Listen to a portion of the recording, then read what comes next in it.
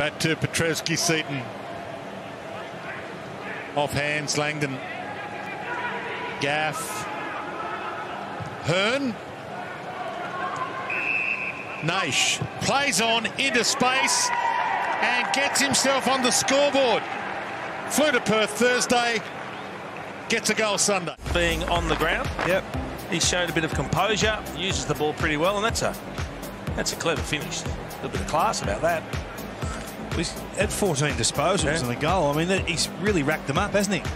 Kicking at 89%, it's always a positive. Hmm. So, you know, sometimes we spoke about it earlier. You get an opportunity, you can reinvent yourself.